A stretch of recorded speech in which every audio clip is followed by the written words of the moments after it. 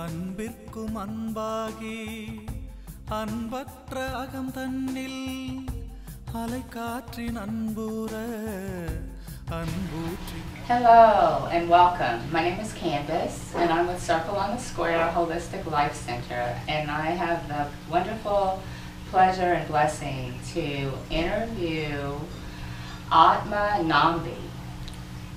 Thank you so much. We have been blessed this weekend with uh, workshops and initiations with Atmaji. May I?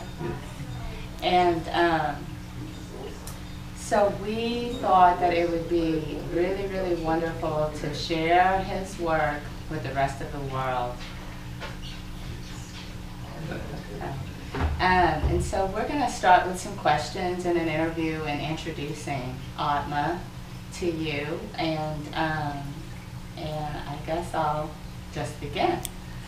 Um, so Atmaji, we were, one thing we were wondering is what does Atma Nami Nambi mean?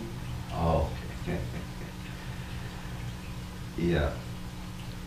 The meaning of uh, Atma is self.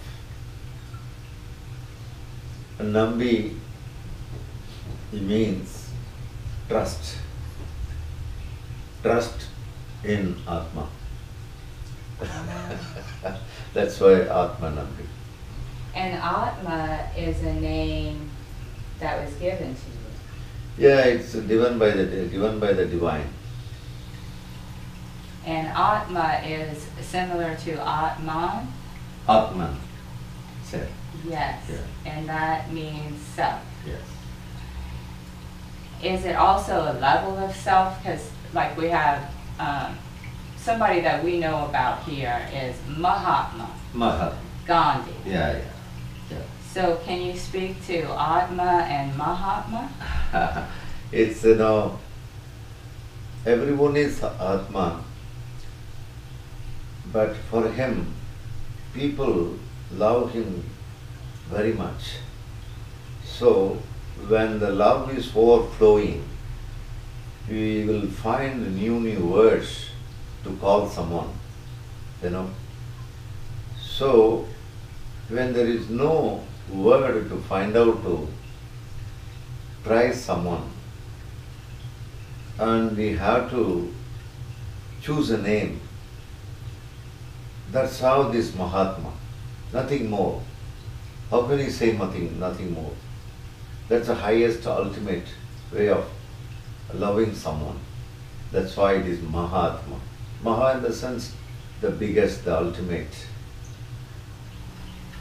Is that an aspiration for you as well? No, I don't have any such thing. I'm very happy of, of this name. Okay. Yeah. So, so Mahatma was given Yes, by people. by people. Started calling. All right. Well, it was kind of curious to me because of the root word in Sanskrit Yeah, and what it yeah, means, true, and true, Atma and true. Nambi. So, Atma Nambi is trust in the self. Self. Tell me what you mean by self. Oh. yeah. Again, it's a name given to something which can't be explained, which can't be defined. We can say nearer to what is self. Self means beyond mind, beyond intellectuals, beyond thoughts, beyond emotion, beyond body. What is beyond all these things? We say self. That means that's the source of all. That is a source. From that source, the thoughts are arising, emotions are arising, all things manifesting over there from the root, from the source, that which is called self. So that this self is, is this self pure? Pure. There is no way to corrupt it also. It's always pure. So like in this country, we, sometimes we talk about, um, higher self. Hmm. Yeah, it's one and the same, you know. When you say higher self, super self, all these things. Just for a word play. Mhm. Self is a self. You know. It's pure, always it's pure. There is a saying in Vedanta that which can't be cut down, that which can't be wet, that which can't be blown up, you know, that which can't be fired is self. Nothing can touch it. It's unaffected. That which is unaffected is called self. Whether we call it super self or higher self, Or true self? true self, doesn't it? Much. One and the same. It's Different people call different names.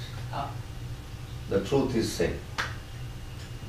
okay, thank Yeah, you. yeah. We have our idea of self, you know, I'm Candace and I live in Springfield, Missouri and I have um, some children and I'm a counselor. I have these different roles and I've had this lifetime as Candace.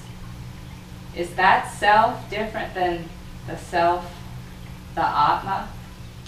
Yeah, this is personality. Okay. What you mention now is personality, outer cover of the self. You know, the name is given for the form. When you, when you when you are inside your mother's womb, there was no name for you. Name came later, isn't it? You are existing, but still no name for you. Candace's name has been given after you were born, isn't it?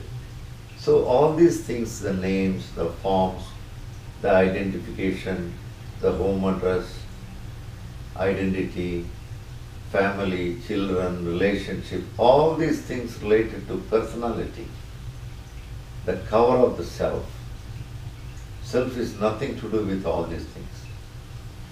Is that what people in in um, I know in Buddhism they refer to uh, the ego, but then also in Western psychology we have the idea of ego and false ego. Is that ego? This other Yeah. is the, Yeah. the makeup of personality, a name and yes, form. Yes. See, when we call ego,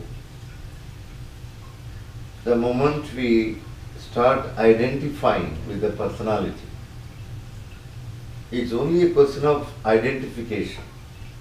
If one starts identifying with the form, with the name, with the status, with the power, the ego is arising. Otherwise, there is no place of ego. If one is totally aware that I, it is my role as a mother, as a sister, as a wife, these are all just changing roles. If one is aware of this thoroughly, there is no question of ego. If one starts attaching with these identities, this kind of external things, personality, and the ego starts coming. Ego means deviating from the self. Oh. Is, that where suffering comes in? That is exactly the suffering starts. The starting point of the suffering is the ego. The starting point of ego is the starting point of suffering. Wrong identification. Deviating from the self, from the true self, starts giving a false idea. Even the suffering is a false idea. There is no such thing. The ego, the mind thinks that it is suffering. It's not so. The truth is just a deviation. And, and in your life, you realized this? Yeah. Did did you know from the from the beginning, or did it did you gradually Mm. in your learnings come to realize that? Yeah. See, it was there, it was there like everyone, but it was fully actualized one point of time. Fully actualized, fully flowered on one point of time when I was 39 year old, that is 22 years now. It was completely actualized, 100%. That's what I can say.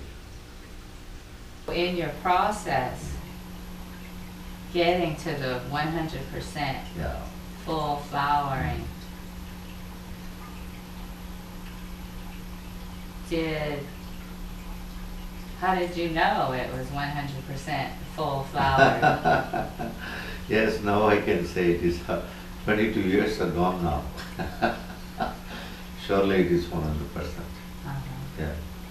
Just because of the experience. When you, when that happens, you know. yeah, when it happens, you know. When you are joy, you know that you are joy. There is no proof. There is no need of any proof. You know it. Same thing. I know it. And no doubt. Yes, no doubt. Does the ego Yes. doubt? Yeah, it is separated. The mind is separated. The ego is separated. The personality is separated. Um, thank you. So, is this available to all of us? Yes, it's available to everyone on the earth. It's only question of recognizing. It takes no second. And live it. Recognizing and live it is the keys. And how, how does one, that's probably a big question, how does one go forth in recognizing it and living it? Just, just to see one's own life. For example, when we are sleeping, every day everyone is sleeping. At the time of sleeping, we don't have the remembrance of the body or the mind or whatever we discussed now, the personality is no more. But there is always something which is not lost, existing all the time, even while during sleeping also. But when you are waking up the next morning, naturally all the memories are coming back. The mind is creating the memories. So, just looking into this phenomenon, a sleeping phenomenon, what's happening during the sleep is enough for recognition. recognition. One can recognize it. Who am I? How do we do that, looking at a sleeping phenomenon? Yeah, that's enough. That one incident is enough.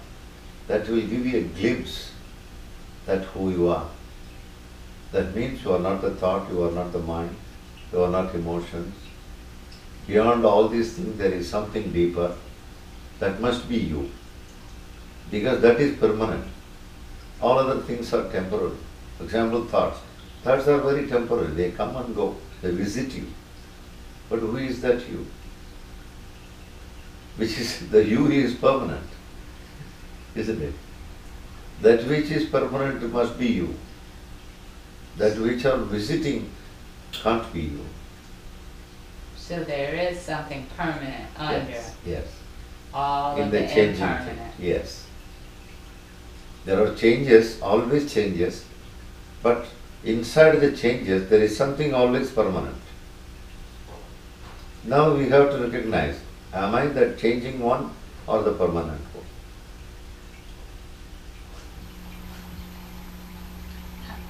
How do you help people to access that, the permanent? Yeah, simple. The meditation is a way, meditation is the best tool. If one starts meditating, one knows, one gets totally identified with this self. Because when meditation, when someone is meditating, the evaporation of thoughts and minds and everything happens. But comes a point that there is something permanent which can't be taken away. That's a reality. So I think people have a challenge with meditation or not sure how to meditate or Yeah. they try and they say I can't do it and then they stop and then Yeah. Uh, there is always, you know, the right way of doing things and wrong way of doing things. One has to select the right way of doing meditation. I call it is a right meditation. If someone is introduced the right way of meditating, there is no way of uh, saying like this that uh, meditation is not coming to me, it's not for me, all these things will not happen. That's why I always say before meditation, just undergo introspection. Introspection is the first step before meditation. Introspection means just be alone in the room, in your home or wherever you would like to sit. Sit alone. Just look into your mind, watch your mind, find out what's happening, what kind of flow of thoughts are going on day in and day out. Find out. Probably you can note down also. If you note down four or five sitting, you will know. The same old repetition of thoughts are going on in time. You know, we are always engaged with that. Why one has to be engaged with that? Why don't we liberate it from that? So that introspection, that is studying our own mind, studying our own emotion, studying the temporariness around us is the first step, will be the first step, should be the first step. Once you understand this step, then you go for little preparation. Preparation is physically, you can prepare your body, maybe doing some physical yoga, maybe some little exercises here and there, you know, having a nice food and having a wonderful lifestyle, living style. And that's a preparation for the physical body. The physical body preparation is very much important because meditation, in meditation one has to sit for 15 minutes, half an hour, something like that. The body has to cooperate. You know. The cooperation is must from the physical body. So it, we have to prepare it, preparation. And maybe you can go undergo some kind of breathing exercises, namely pranayama or something like that. That will settle down your mind. Then you close your eyes, then you meditate, then meditation will come just like that. It will not be a struggle, it will not be a war. You will love it. And once you have the glimpse of bliss or happiness which is bound to happen during meditation, that single experience, one experience of bliss, the glimpse is enough. Once one tastes that, afterwards one love to meditate. No one can stop it. It's such an interesting factor. Then meditation will be a life. It will be a permanent phenomenon. Afterwards one need not do any particular techniques or anything. One started living as meditation throughout life. I think this is the process of progressing in meditation. If a person is totally fed up with all the mind and this flow and all this kind of mind disturbance, thought disturbance, suddenly if you ask that person to meditate, it will be very difficult. So best way to introspect first and then prepare and then meditate. Once you meditate, then meditation sets in because our nature is meditation. Meditation is not a new phenomenon for anybody. We started our life in a silent way in the mother's womb. 280 days we are meditating before we come to the earth, isn't it? That experience is still there. You know, it's not a new phenomenon. Meditation will set in for everyone. One has to follow the right procedure, right way of starting things. Of course, for some people, suddenly meditation is set, set in. I'm not saying to all they have to introspect, prepare, and all. Some people suddenly, when they close eye, they go into trance. But not by all. Because everybody is different in their mindset programming. It depends on the program of the mind. More it is strongly programmed, they need a lot of preparation to set in meditation. Till they get the first glimpse of joy, of happiness, of silence, then they come to go away from meditation. They love meditation. Thank you. Yeah. I think I think sometimes people fear the silence. They fear like like that silence is like maybe nothing, like death, as opposed to bliss. Do you think? Yes, uh, some people, yes. Some people they have this experience of uh, fear. When they go deep into meditation, suddenly the noise of the mind is reduced and there comes a point, a noiseless, know, a peace is occupying. That moment is a fearful moment for some of them because it's something unknown forgotten for long. So suddenly, when a person is thrown into such a silent zone, it's such a shock like, you know, that may create a fear. But one need not worry about these kind of small fear like traces or shades. One can boldly travel into because that silence is bliss.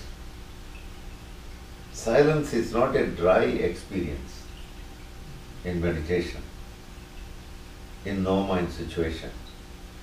It's such a juicy experience. As many people think that wrongly, silence is not nothingness, it is everythingness. From silence, from the vacuum, everything arises out of it. So, if you have this understanding rightly, we will love to travel into the silent zone. All treasures are there in the silent zone.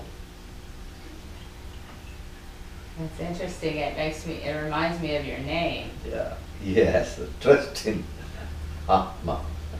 Atmanandi. Yes. So it's a trust. So in those moments, it's all. It's that we have to trust that it's Yeah, gonna be okay trust. on the other side, Yes. or to cross that, Yes. Yes. cross the unknown. Yes. See, when we are traveling in the aeroplane, we don't even see the face of the pilot, but we are enjoying the travel of aeroplane. What is the background of it? We are just trusting the pilot that he will take us the right way without making any trouble on the way. So we are trusting the pilot. When you are traveling in a bus, we trust the driver of the bus. We don't even see the face of the driver of the bus. We trust many things. But when it comes meditation, why we are afraid of?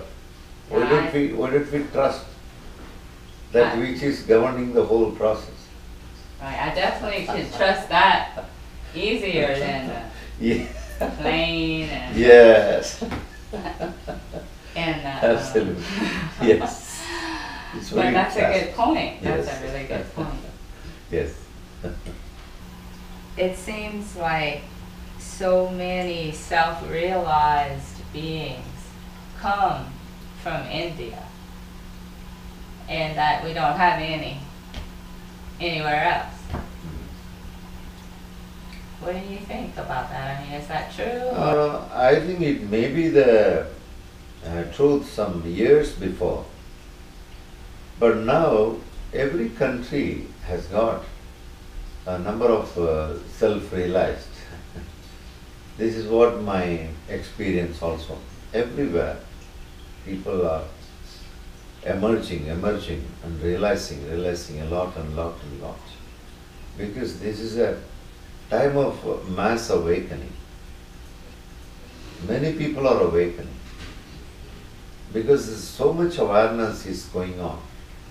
Of course, I agree with you. India is a very ancient country. You No. All the time, the land of India was giving the wisdom of realization, of liberation, of enlightenment, mukti, moksha. Before, even before Gautam Buddha was born and flowered. I agree with you. That is the reason a lot of people in India, the numbers are very high. But doesn't mean that the other countries they don't have this fortune of realizing. It's happened everywhere. Yes. Is that why you're coming around? Yeah, no other way, you know. When you are joyful, you always share that joy. you can't keep quiet. you know. Of course, yes. And this is your first time in the US? Yeah, this is my first time. So in your journeys, Yeah. have you come across some other realized beings? Yes, I do. That's wonderful to hear. yes. Is it is it hard? Is it tough for them in other parts of the country? No, no. So India is very supportive and has the awareness of this self Um, realization and it's almost built into the culture, yes, but not so much in other places. yes. That is true. And so what happens when someone, are people waking up without necessarily under the guidance of a teacher? yeah, And what happens to them? What do they do? yeah. Is it,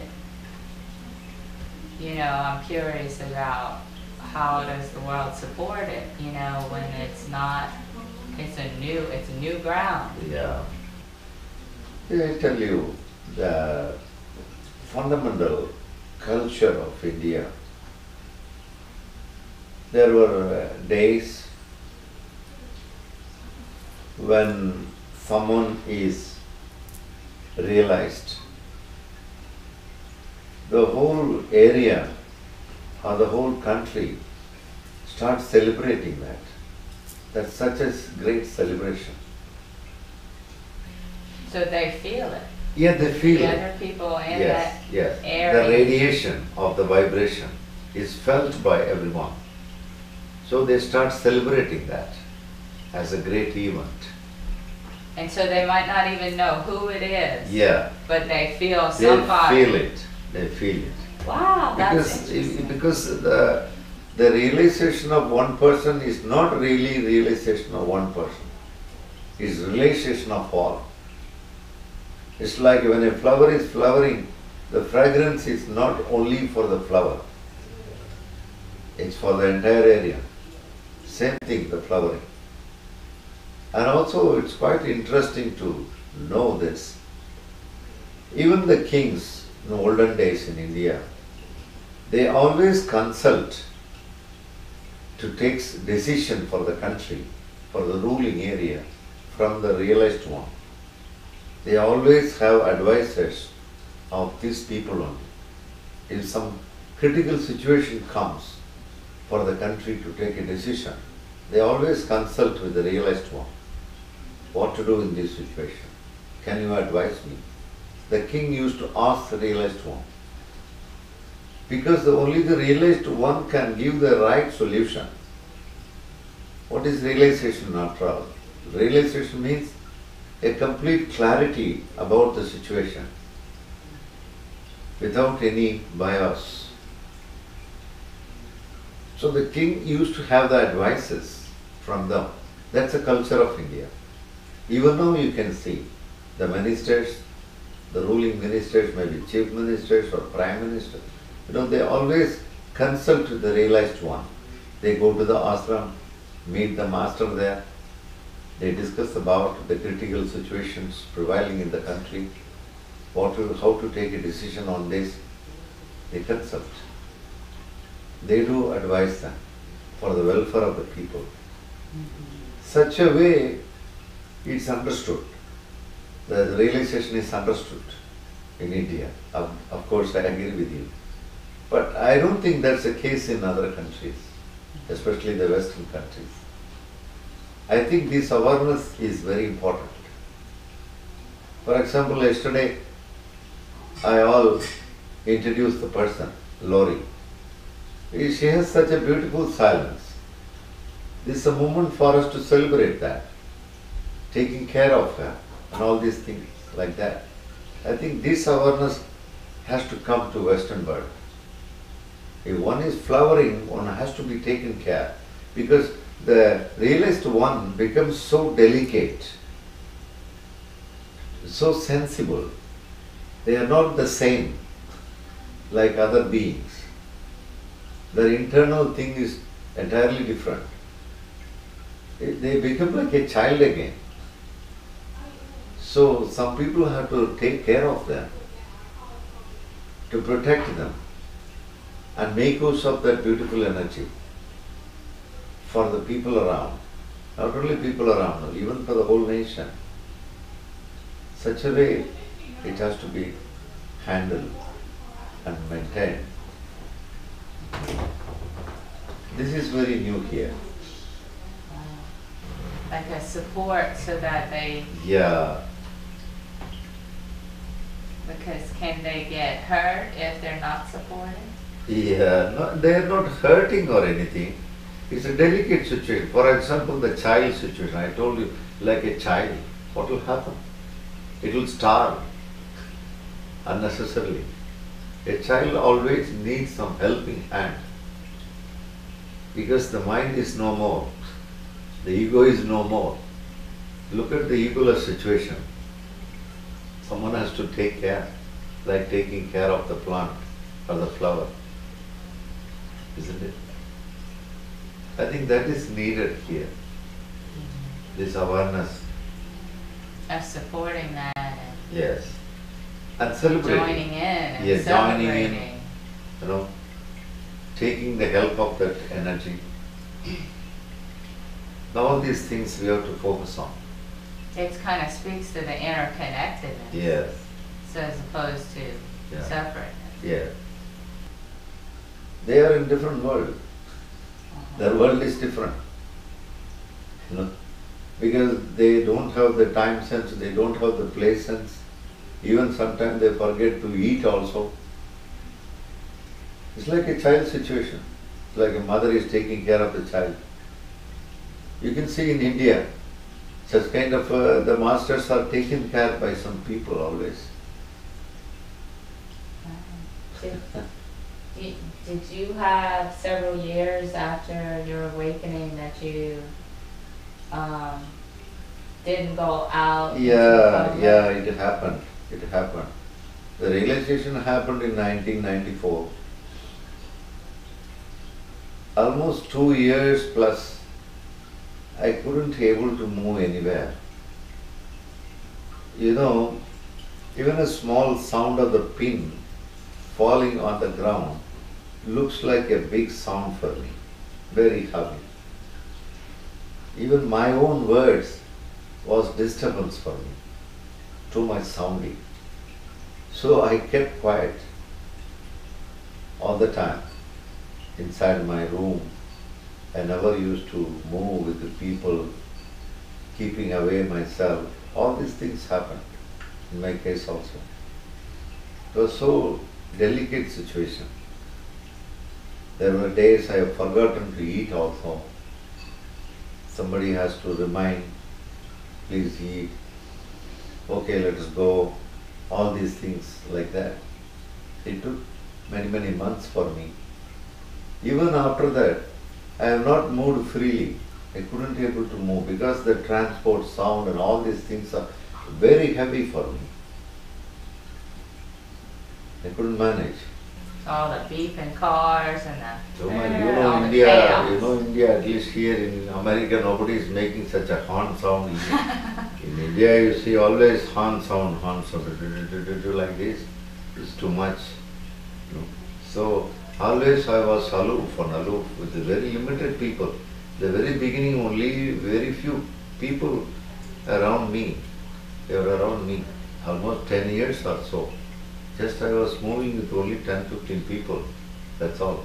They, they take me carefully here and there. That's all. I was talking to them only, the very beginning. You know, very recently only I started traveling, especially some four years before. I had a satsang in Tiruvannamalai, you know Tiruvannamalai, the land of Ramana Maharishi. I was holding a satsang.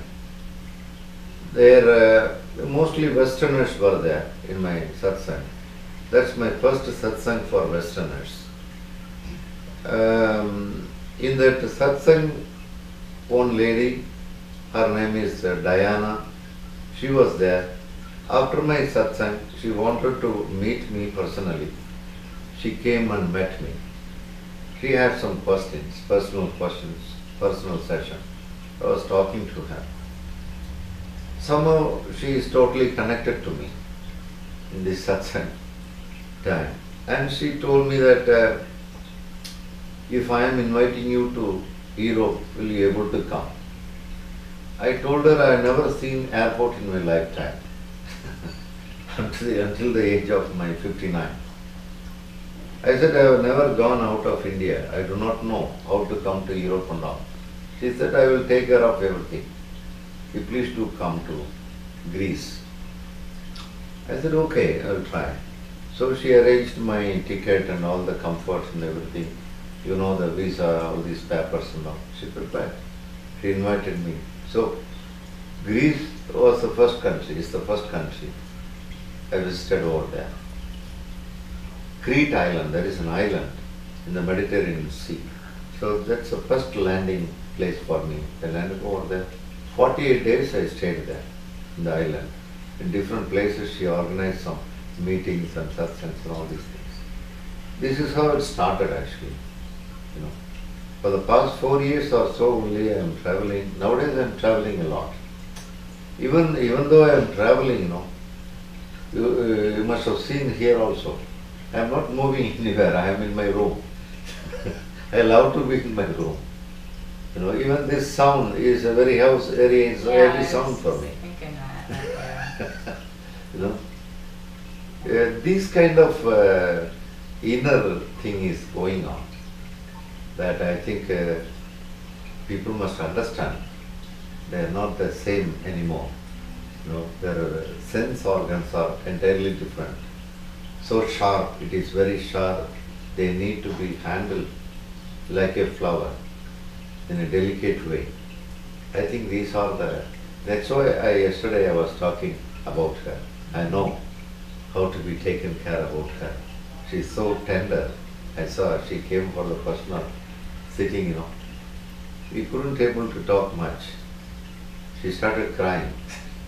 I said, okay, you need not speak anything now. Okay, I understand you. Please take care of yourself. Like that. It's such a delicate situation.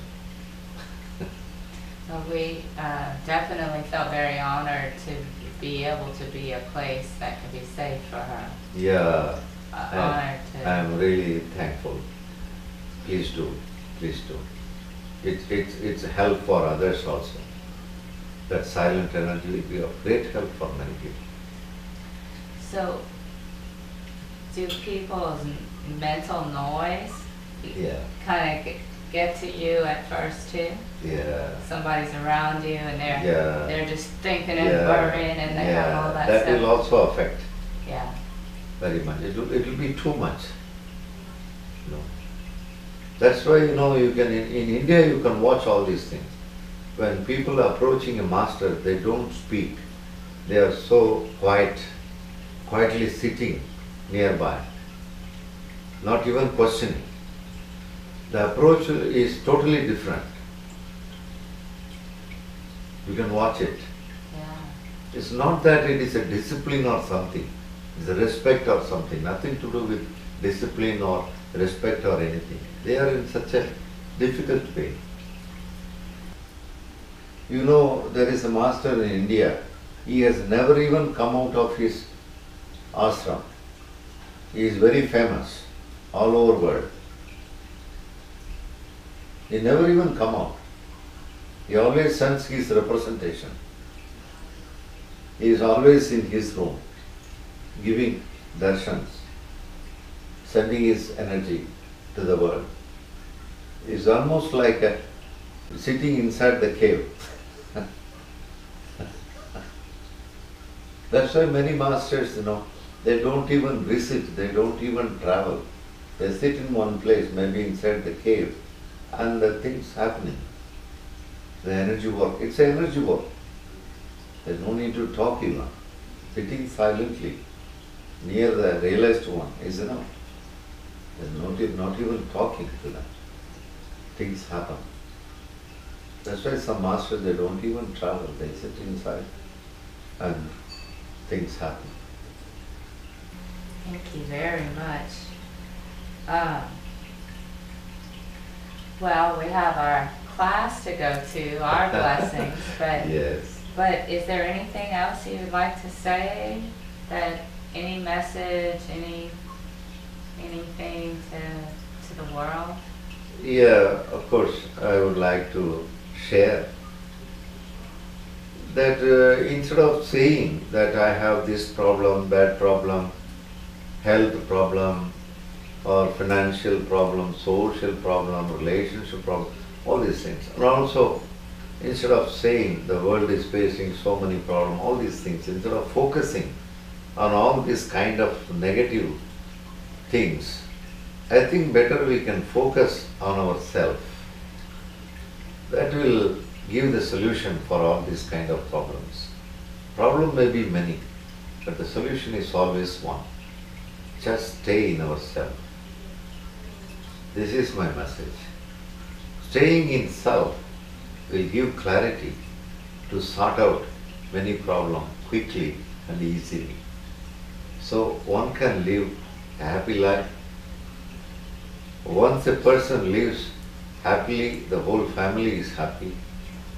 When the whole families are happy, naturally the nation is happy. When the nations are happy, naturally the world is happy. So simple thing is that we in the self, realizing oneself that we are love. Only love exists, nothing else existing. This is my message. Only love. Yes, only love. Thank you Thank you very much. so much. Namaste. Thank you. Namaste. Om Shanti.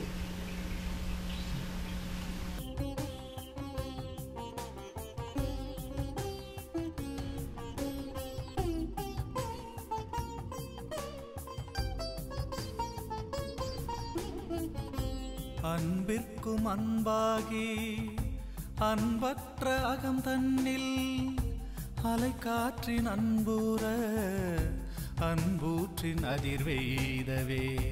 அகமே மெய் அகலாக அறிவாற்றல் அகலாத அறிவார்ந்த அருள் பாய அருளாத்ம உள்ஜோதியே. நம்பிக்கை ஜோதியே ஆத்மாஜி அருள் திரள் ஜோதியே ஆத்ம நம்பிக்கை தரும் ஜோதியே ஆத்மாஜி அருள் திரள் ஜோதியே ஓம் ஆதியே நம ஓம் மாதாவே நம ஓம் பிதாவே நம ॐ गुरुवे नमः। ॐ तारः परब्रह्मणे नमः। ॐ मनमे नमः। मनमः